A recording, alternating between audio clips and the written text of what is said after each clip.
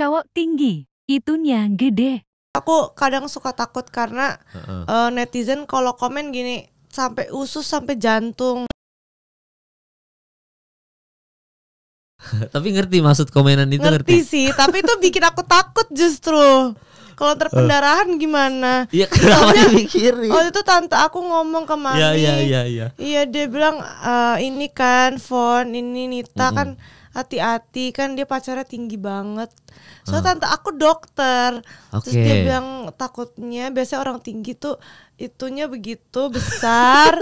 terus takut Nita pendarahan gitu. Ah, Rajin-rajin olahraga aja Ah, gitu. ah, terus Nita jawabnya Olahraga yang tau gak sih yang gini gini. "A- ma- ada manfaatnya kalau kata tantenya Nita tuh ya. Iya katanya biar lentur aja. Oke,